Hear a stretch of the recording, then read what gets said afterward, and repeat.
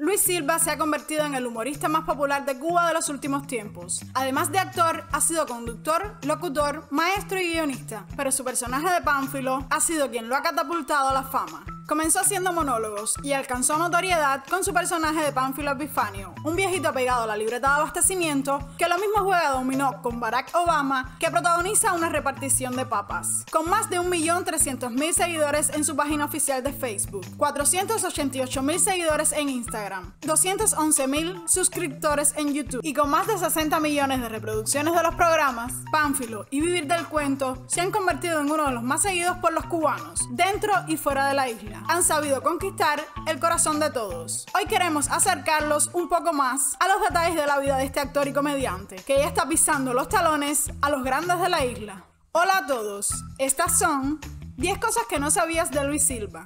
Pero antes de empezar, recuerda suscribirte para que no te pierdas nuestros videos.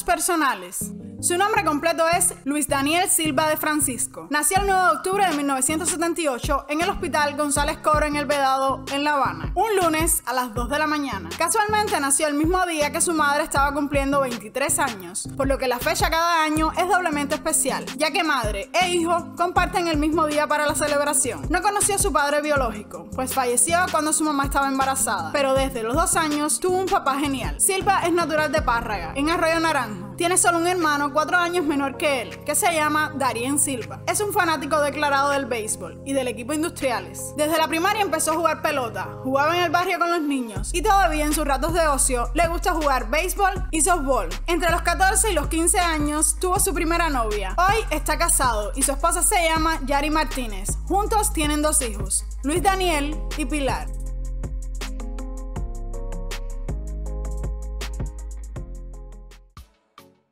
Inicios como humorista. Desde niño, dos personas lo inspiraron a ser humorista: Consuelito Vidal y, en segundo lugar, Alexis Valdés, con quien tuvo varias entrevistas en el antiguo programa que conducía Esta Noche Tonight para Mega TV. Desde la secundaria le gustaba hacer cuentos, imitar las voces de los profesores, además, le encantaba el gran imitador Julio Zavala. Imitación. Empezó a imitar con 12 años. Tenía que hacer un matutino por el Día del Educador y los alumnos decidieron imitar a sus maestros. A él le tocó el profesor de historia y se pasó días observándolo y tomándose todo muy en serio. Cuando hizo la imitación, la escuela se cayó de la risa y él mismo se quedó sorprendido. En la universidad empezó a imitar a personalidades conocidas por toda Cuba, como Rafael Serrano, Héctor Rodríguez o Eusebio Leal. Desde entonces, la imitación fue parte de su repertorio como artista. Ha hecho en escenario imitaciones de más de 15 personajes. Nunca ha tenido problema con sus imitaciones. En algunas ocasiones ha coincidido con las personas a las que imita y les ha hecho mucha gracia. Eusebio Leal disfrutó de su imitación en vivo y a los pocos días le mandó de obsequio un libro suyo autografiado. Estudios. Silva estudió en el Instituto Preuniversitario Vocacional de Ciencias Exactas Vladimir Ilich Lenin desde 1993 y hasta 1996. Y a pesar de que ya tenía sus inclinaciones graciosas, no hizo pruebas para el Instituto Superior de Arte, pues quería estudiar computación. Aprobó los exámenes de ingreso y después del servicio militar, donde también hizo sus cositas humorísticas, llegó a la Universidad de La Habana. Los cinco años de la carrera se lo pasó ligado al mundo de la actuación. Se vinculó con el movimiento de artistas aficionados y peñas culturales, formando parte Teatro Universitario de La Habana. Y aunque fue difícil llevar las dos cosas a la vez, siempre tuvo claro que no iba a dejar los estudios. Y se graduó en licenciatura en Ciencias de la Computación, o como también le conocemos, Cibernética, en la Universidad de La Habana.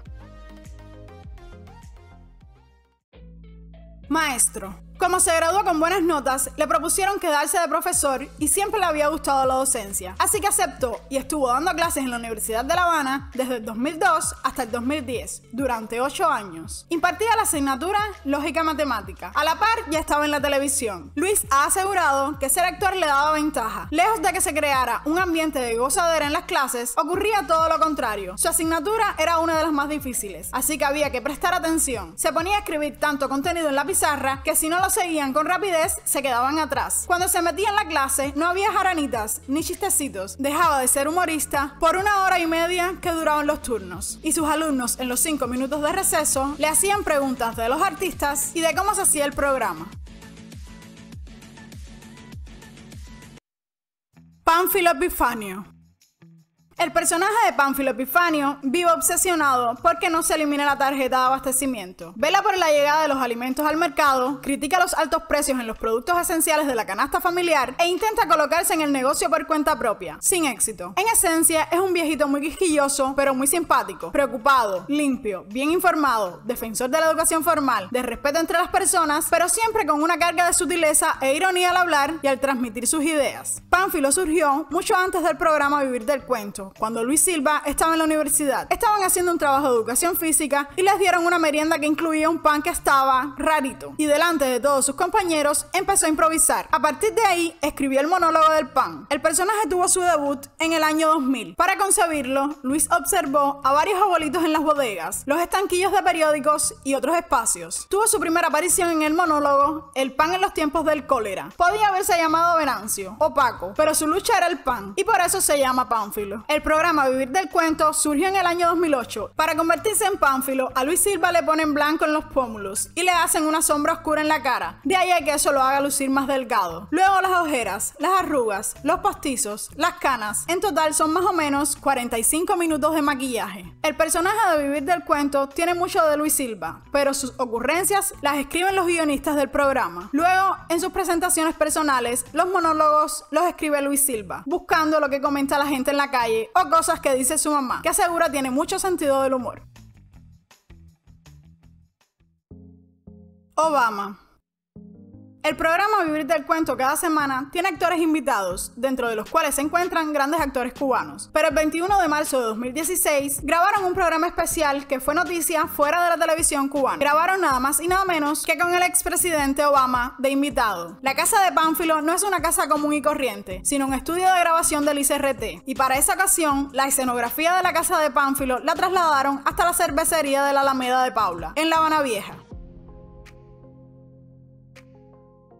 Obama, Obama, qué bueno que viniste a conocer La Habana. In English, in English, in English. Obama, Obama, so nice you came to Havana. Están montando el cuarto de Panfilo. El cuarto, mi cuartico, lo estamos los muchachitos ahí que estamos, estamos montando. Es donde- Está el comedor, donde mismo está el comedor, va el cuarto de Panfilo. ¿Qué te parece eso, no? ¿Quién lo sabía? eh? Esa es la magia de la televisión. En el mismo comedor va el cuarto. Premios.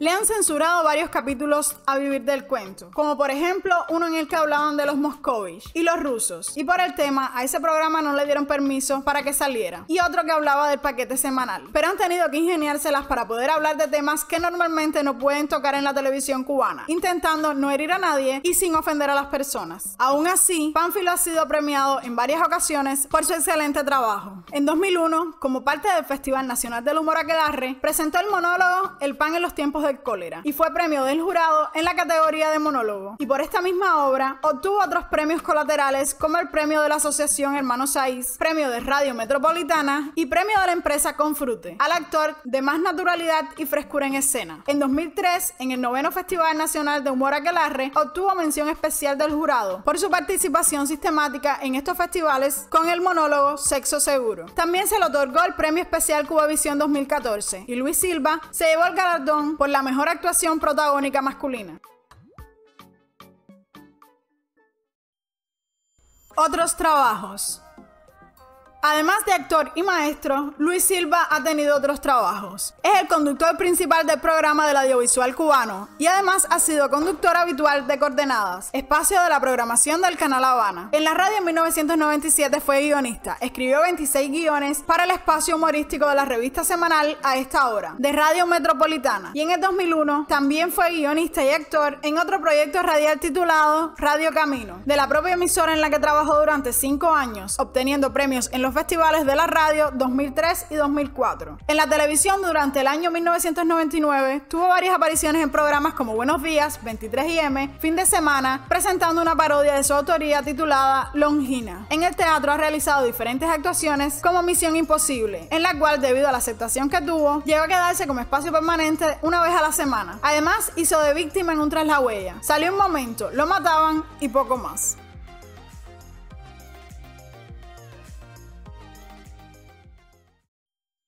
Turrón Don Pánfilo. Con la imagen de Pánfilo han lanzado un producto, los turrones Don Pánfilo. Su hermano Darien Silva es quien lleva el negocio. Su hermano antes vendía turrones, pero sin marca, como es habitual en Cuba. Luego se le ocurrió la idea de personalizarlos, teniendo en cuenta que Pánfilo estaba en un buen momento, y así quisieron crear una imagen de marca. Ahora los turrones Don Pánfilo son una marca registrada y patentada, que tiene su asesoría legal. Y cuenta Luis Silva que ya hay lugares en Cuba vendiendo turrones Don Pánfilo falsos.